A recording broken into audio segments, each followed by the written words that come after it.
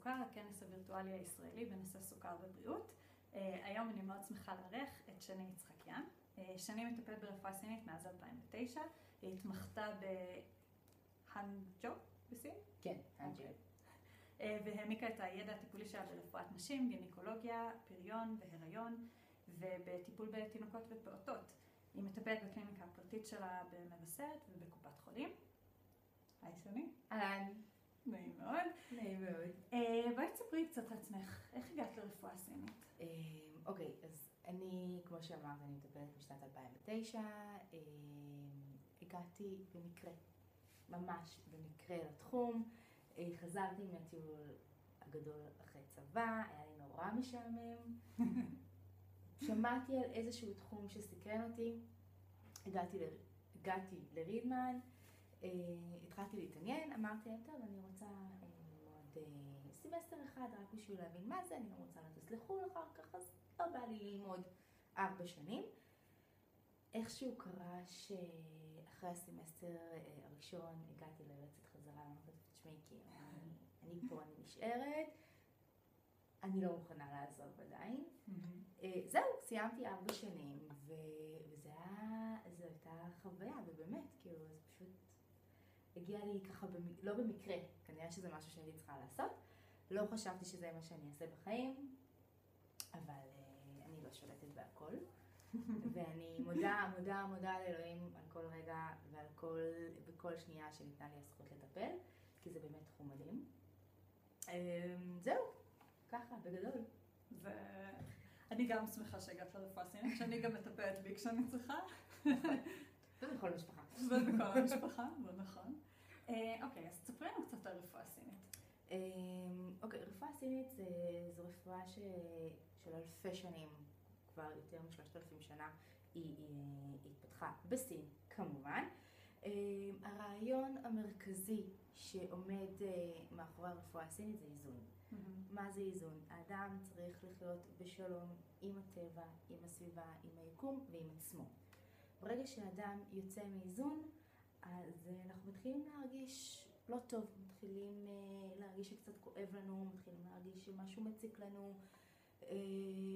בקיצור, אנחנו מתחילים להיות חולים ברגע שאנחנו יוצאים מאיזון. אז המטרה שלנו ברפואה הסינית זה להישאר מאוזנים, ואם אנחנו יוצאים מאיזון, אז להחזיר לאיזון.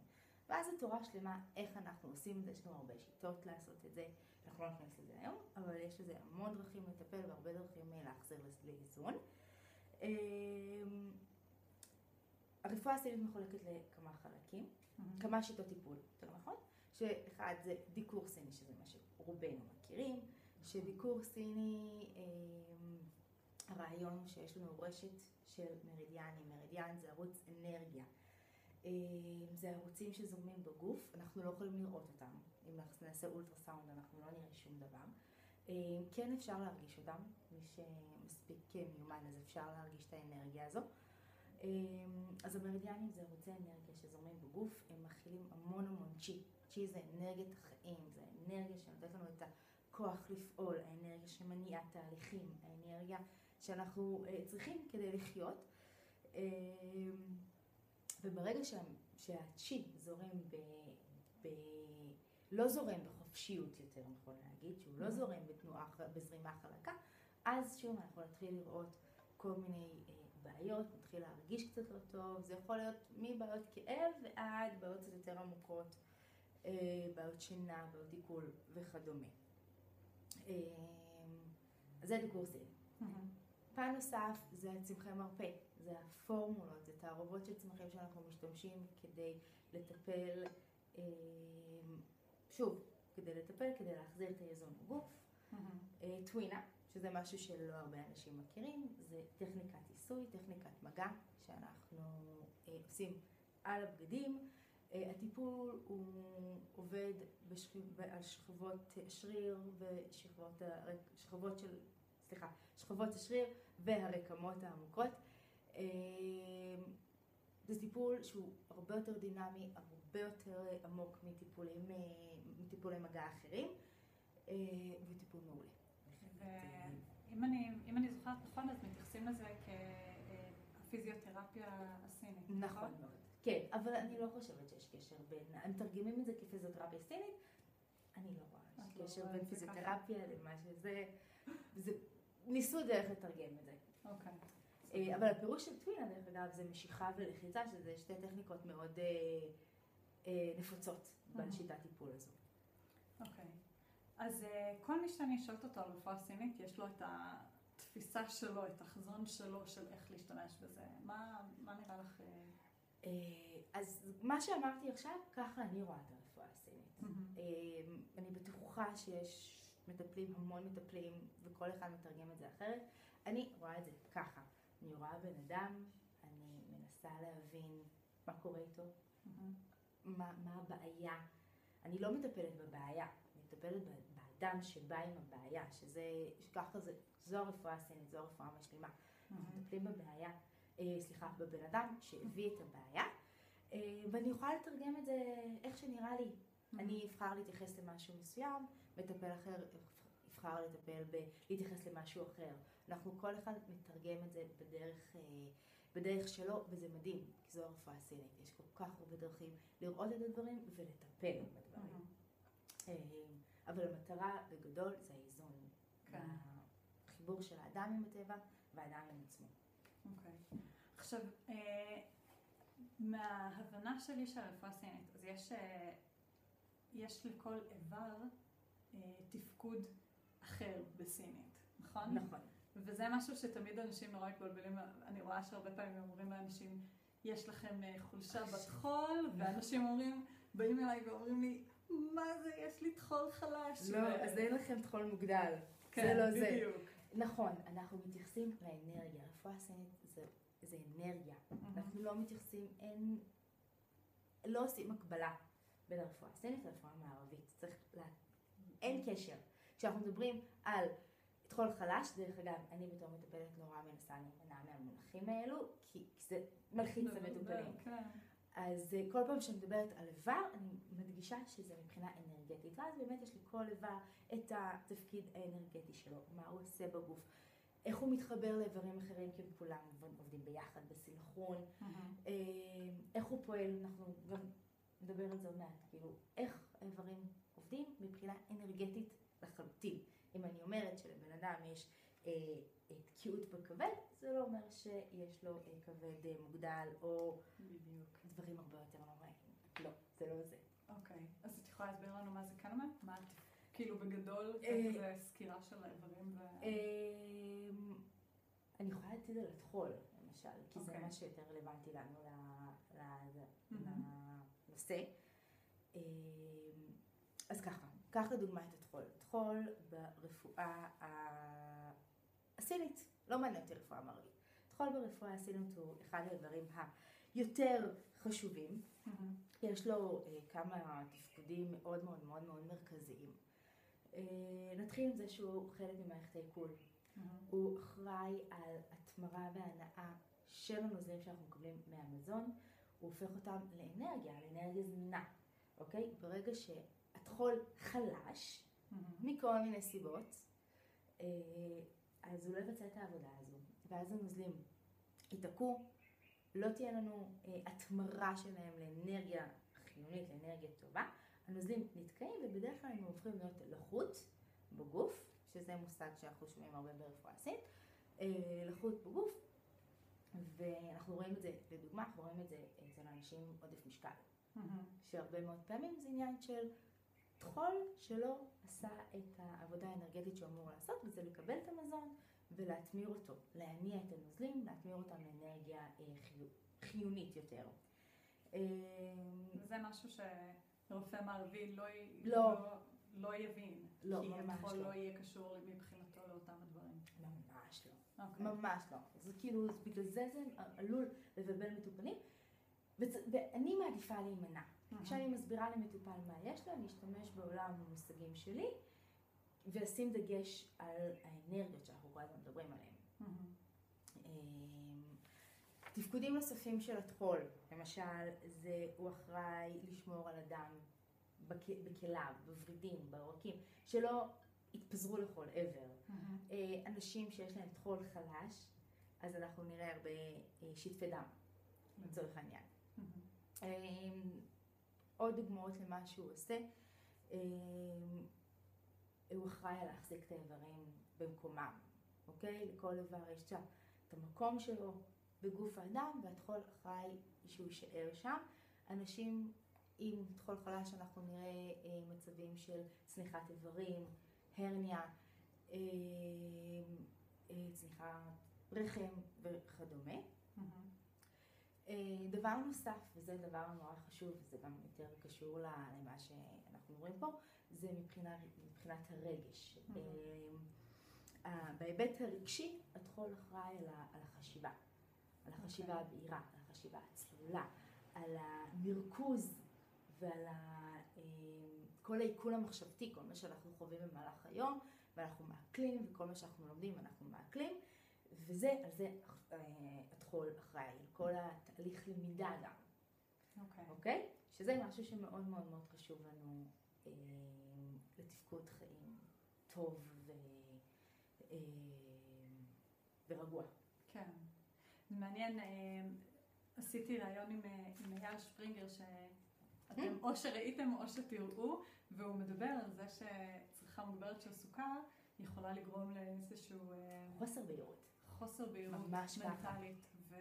ממש ככה. וזה בדיוק למה, זאת בדיוק הסיבה. זה ממש בדיוק. מעניין ש...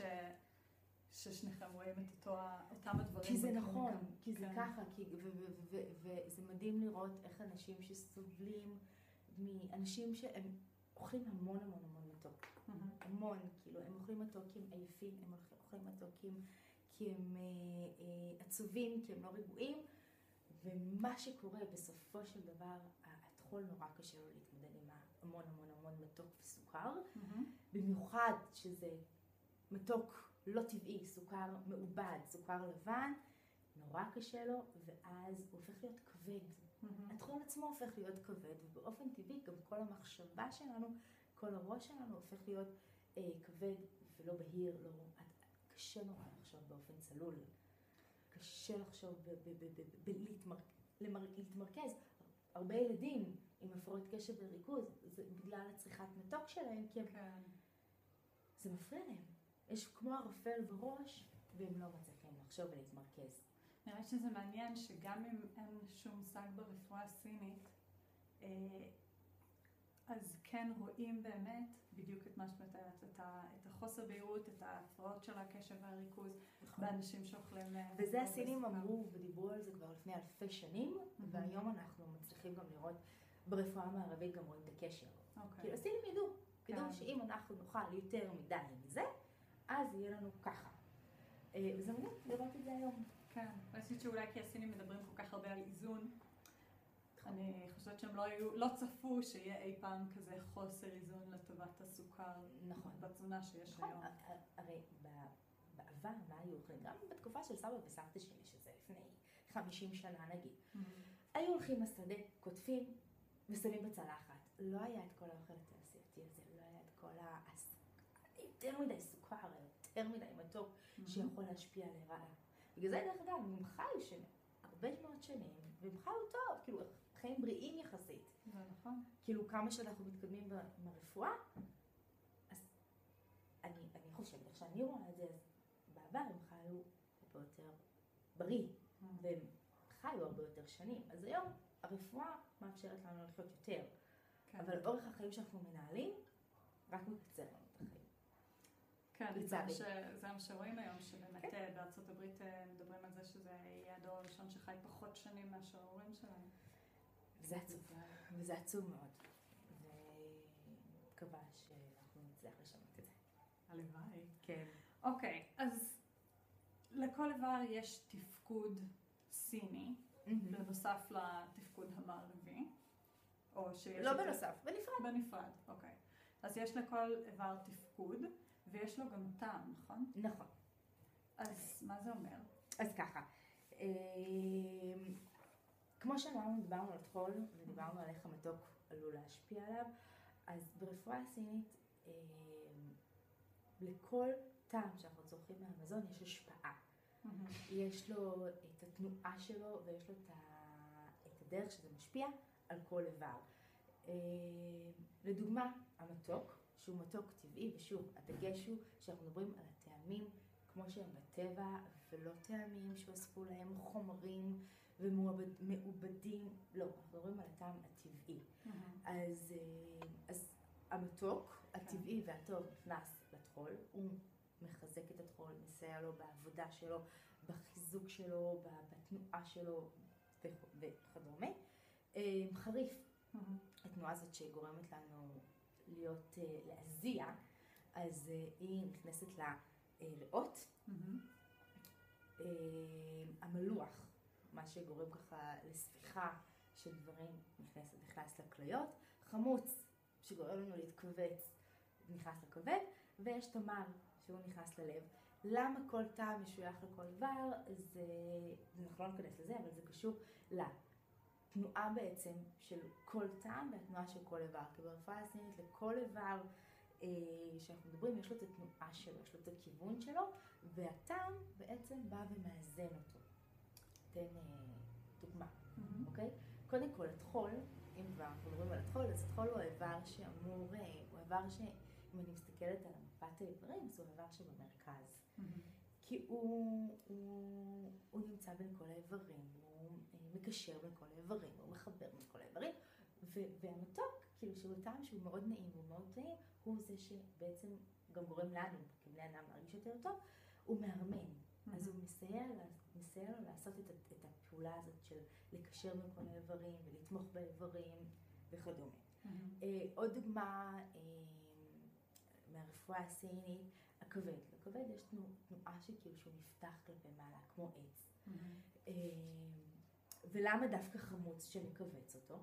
כי הרבה פעמים לתנועה של עץ יש את ה... את ה אה, הרבה פעמים מתפרצת מדי. Mm-hmm. התנועה הזאת היא, היא, היא חוצה את הגבולות, נקרא לזה ככה.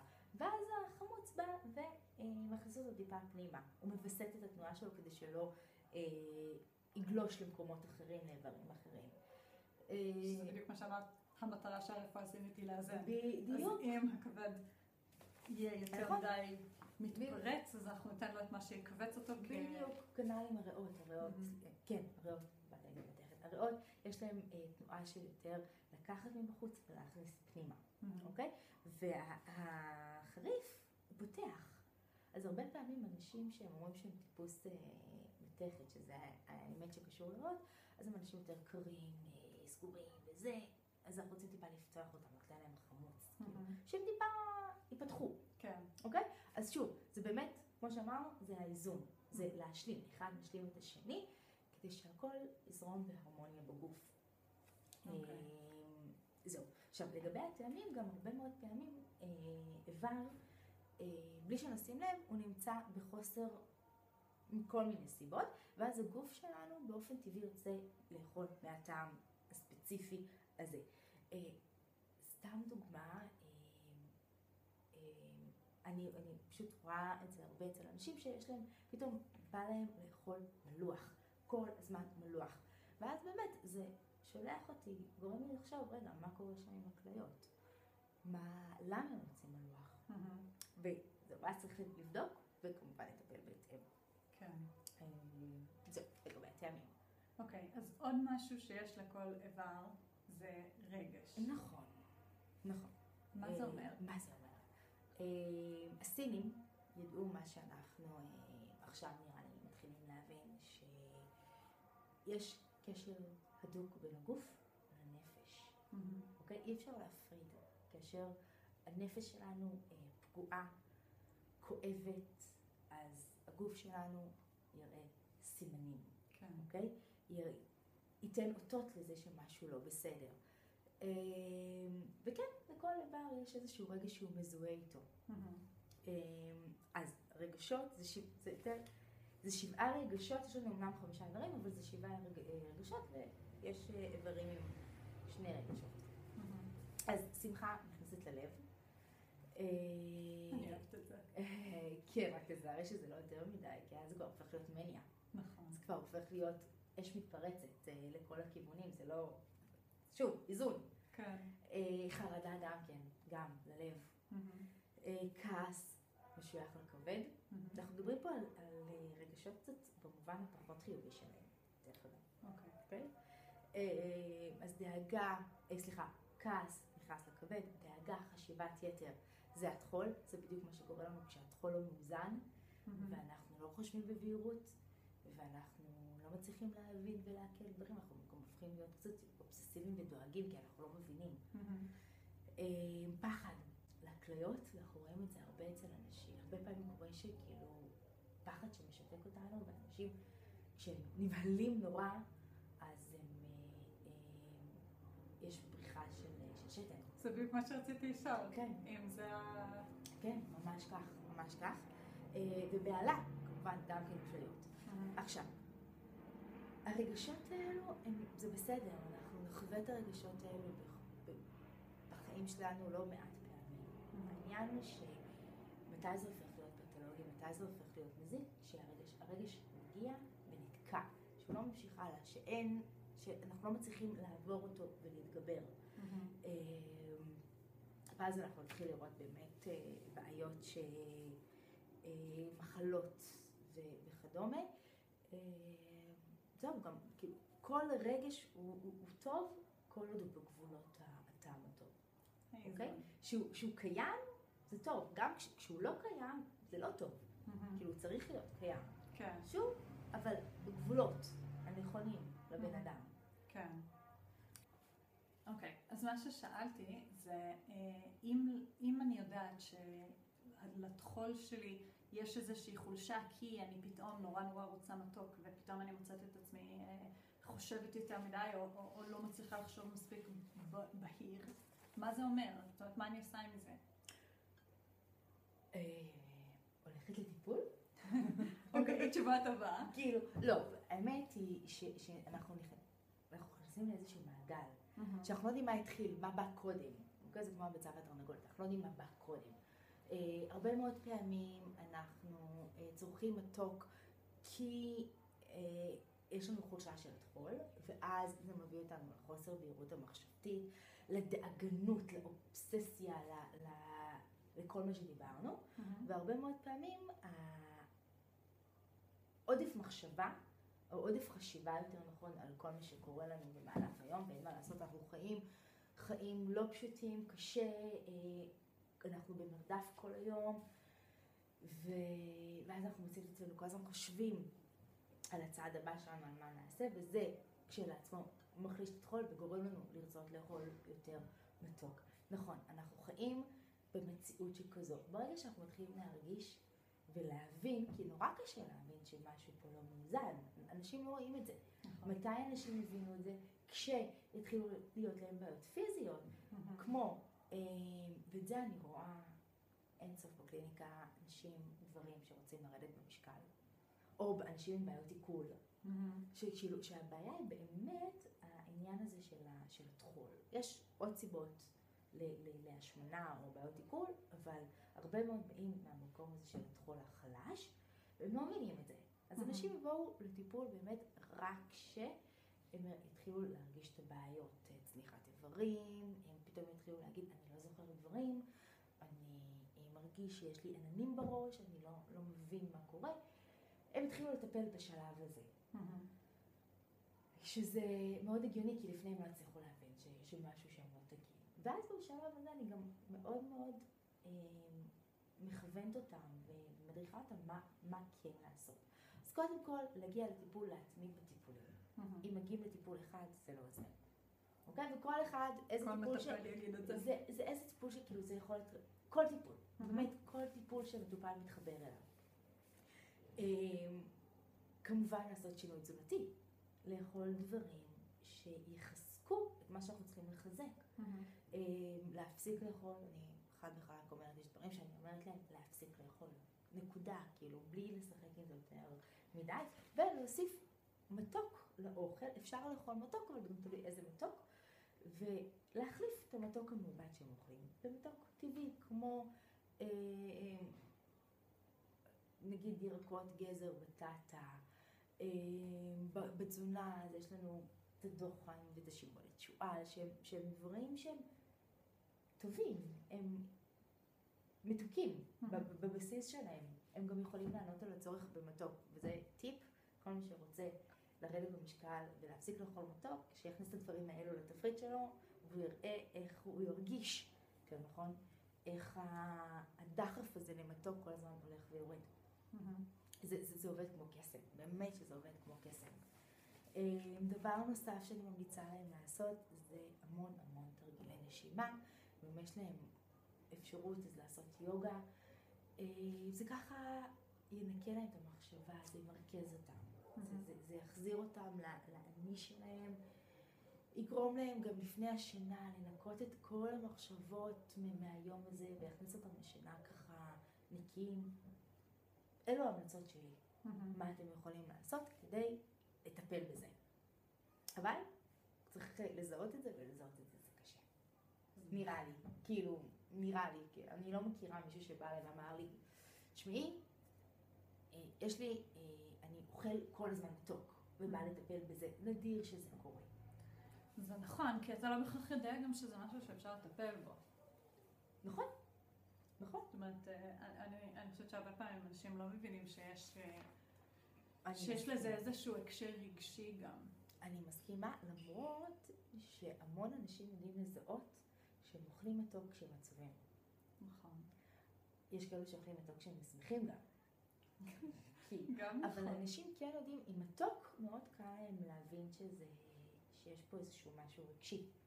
אני חושבת שמה שיותר קשה זה להבחין כמה מתוק. זאת אומרת, אה, יש, מתוק? יש מה שאת אומרת, המתיקות של השיבולת שועל, ויש את המתיקות של עוגת יום הולדת. אוקיי, טוב. וזה לא אותה מתיקות, ועוגת יום הולדת זה סבבה, עוגה פעם בשבוע, נגיד. כן, אנשים פחות. יעדיפו גם את המתוק הזמין שיש להם עכשיו מול העיניים. מהמם. אז הם ייקחו את השוקולד והם לא ייקחו את התמרים. שתאמר, זה נהדר, זה מתוק. זה נהדר. זה נכון, יש, יש אה, מחקרים שאומרים שמה שנמצא בחוץ וזמין, לשם אנחנו נלך. אז אם יש בחוץ קערה זמינה של אה, פירות, אז אנחנו נבחר את הפירות, אין סיבה שלא. כן, תשאלי ילדים קטנים. שנכנסים הביתה, ילד לא מבין, הוא לא יודע. הוא יודע שבננה. זה טעים. מה אכפת. לו שבננה זה גם בריא? הוא, מה שיראה על השולחן זה מה שהוא ייקח. אה, אז רק מצריך מאיתנו את המאמץ לחתוך פירות, לעשות את זה, ולא תמיד יש לנו את הכוח. כאילו, לפעמים בא לי לקחת את השוקולד, כי סתם לא בא לי לחתוך אבטיח. חבל. זה באמת חבל. אז אם אני רוצה אה, לסכם רגע, לחזור אחורה לעניין של הרגשות, כי זה, זה בשבילי זה נורא מסקרן. אה, זה משהו שאנחנו לא שומעים עליו הרבה. על זה שיש קשר בין אה, מתוק דיכאון. לדיכאון או מחשבות יתר ו- ו- ודאגנות יתר.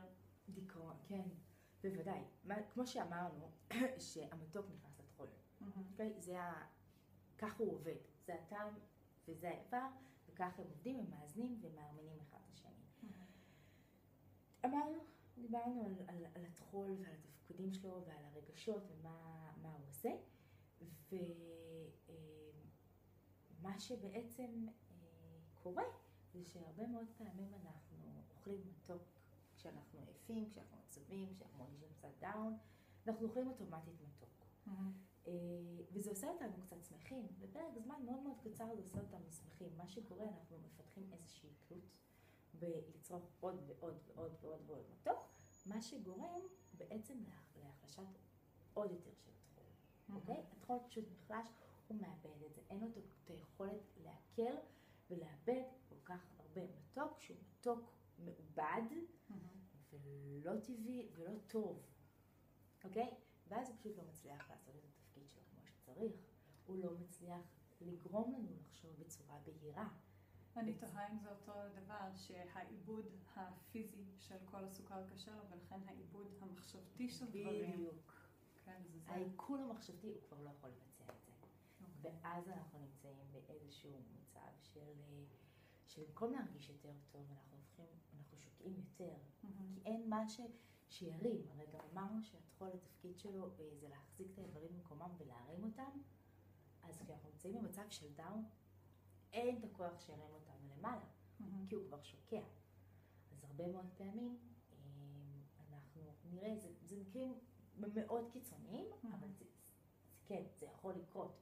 אם אנחנו לא נהיה לנו אכילה אה, מבוקרת. מהמם. אה, זה ככה אה, בגדול. סליחה שאני אוקיי. אפרט עוד. לא, אני רוצה שהיתוש יעזוב אותי. אמ, אוקיי, תודה. אז איזה מתוק כדאי? זאת אומרת, חוץ ממה שאמרת, אמרת אה, אה, פירות, אמרת אה, שיבולת שועל, אמרת כן. דוחן. כן, אני יכולה לתת לכם עוד. אה, קודם כל, כל הכתומים, זה תמיד טוב לנו. זה... וזה גם מה ש... אם אני זוכרת נכון מהרפואה הסינית, זה מה שמחזק את הטחול. נכון, זה הצבע של הטחול. אוקיי. אז, קינ- קינוע, סליחה, בטטה וגזר, אה, דלורית, פטריות. מהמם. הפטריות הן יותר מהמקום שהן אה, מנקות לך ולחות, ואז אה, מנקות את המחשבה, את הערפול המחשבתי הזה שעלול להיגמר כתוצא, להיגרם כתוצאה מטחול חלש. אה, אפרסמון, תות שדה, קליפות של הדרים, שוב, המון פטריות, הן מנקות, הן מנקות את הליכה הזאת. אה, אורז, אורז, אה, אמרנו שיבולת שועל, אמרנו, נכון, שיפון, שזה גם מאוד מאוד מנקה, אה, טופו, סויה, עוד דברים לא עולה לי בראש לא. אז זה מעניין שהדברים האלה שהם מתוקים באופן טבעי, הם אלה שמחזקים את הטחול, והמתוק המוגזם זה גם שמח- שמחליש, הוא זה שמחליש. זה מדרון אה, חלקלק יכול להיות. מהמם. כי אם אנחנו לא יודעים לשים את הכת, ולא יודעים לעשות את ההפרדה בין המתוק הטוב לבין המתוק הרע, מהמם. אנחנו נופלים. כן. אנחנו ממש נופלים, ואז אנחנו כן נצטרך את המתוק הטוב כדי לטפל בחולשה הזאת של הטחול, ונצטרך להוסיף, הרי מה שקורה ברגע שהטחול עובד, הוא לא עובד יותר, נכון? אז מצטברת לנו המון המון נוחות בגוף, מהמם. כי הוא לא מאבד את המזון כמו שצריך, ואז אנחנו נצטרך להוסיף אה, צמחים או נקודות עיקור, או מזונות שינקו גם את הליכה, כמו אה, פטריות או קליפות הדרים, שעושות את זה טוב. מהמם. אה, זהו, בגדול. אוקיי. טוב, לי זה היה ממש מעניין. אני למדתי תודה הרבה. רבה, היה לי מאוד כיף. אני מקווה שגם אתם למדתם הרבה. היה לי כיף. יופי. אה, אז אנחנו נתראה ביום אחר, מחר כנראה, אה, בכנס אתגר סוכר, ועד אז שיהיה לכם יום מצוין. ביי.